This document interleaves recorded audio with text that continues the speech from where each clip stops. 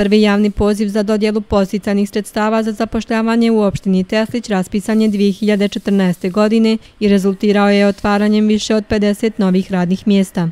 U svrhu stvaranja uslova za intenzivan privredni rast i zapošljavanje, ovakva praksa nastavljena je i u narednim godinama, poručuje načelnik odjeljenja za privredu i poljoprivredu Borislav Tešić i dodaje da je u periodu od 2014. do 2021. godine iz lokalnog budžeta za ove namjene izdvojeno oko milijun i maraka, a kroz različite projekte obezbjeđeno je dodatnih 400.000 konvertibilnih maraka. Ukupan iznos, iznos sredstava od oko milioni 900 hiljada rezultirao je sa direktnim zapošljavanjem nešto oko e, 240 e, novih radnika e, kada pričamo o direktnom direktnoj pomoći. Zatim tu se negdje manifestovalo znači indirektnim oko 400 radnika. Otvaranjem 58 novih preduzetničkih djelatnosti, 41 poljoprivredno gazdinstvo, imali smo 13 lica sa visokom stručnom spremom koje je između ostalog stekao i svoje prvoradno iskustvo.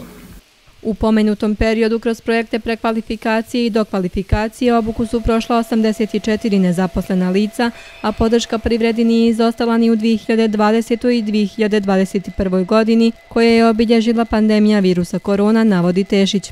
Odobreno je preko 260 e, subvencija privrednih subjekata u periodu provođenja COVID mjera, e, pružena je finansijska podrška za oko 14, oko 14 preduzetnica. E, mi u 2022. godini svakako nastavljamo sa programom posticanja u privredi. Tu ćemo, za tu svrhu smo izdvojili 250.000 konvertibilnih maraka. Iz lokalne uprave mišljenja su da su upravo mjere posticanja zapošljavanju jedan od parametara koji je značajno doprinio za ustavljanju negativnog trenda pada broja zaposlenih koji je bilježen do 2012. godine.